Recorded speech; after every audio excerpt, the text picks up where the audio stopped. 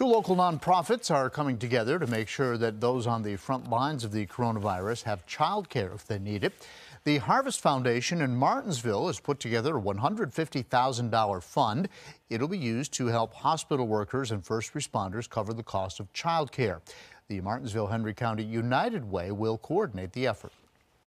Currently, we have targeted the local YMCA. Um, you know, the YMCA announced that starting next week, they're only going to be providing services to healthcare employees and first responders. We look at our job as, you know, addressing immediate needs, long-term needs in the community. Mm-hmm. So uh, we were quick to go to our board and say we really think this is a priority.